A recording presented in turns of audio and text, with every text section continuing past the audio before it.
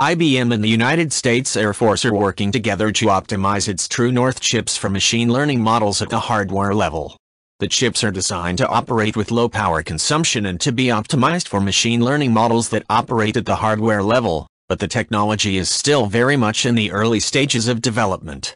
The 64-chip array will be made up of four boards with 16 chips on each board and IBM thinks that they could find themselves being used in smartphones or in self-driving cars or satellites and unmanned aerial vehicles, which is partly why the U.S. Air Force is interested. The chips are said to be capable of running a single neural net on multiple datasets or running multiple neural nets from a single dataset, according to TechCrunch. The Air Force's involvement stems from the TrueNorth project originating as a DARPA Synapse project in 2008. DARPA is the Defense Advanced Research Projects Agency and the Synapse program aims to develop electronic neuromorphic machine technology that scales to the biological level.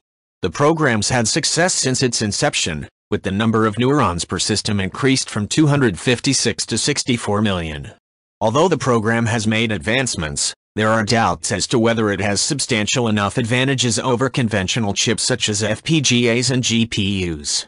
If you like this video please leave a like and subscribe.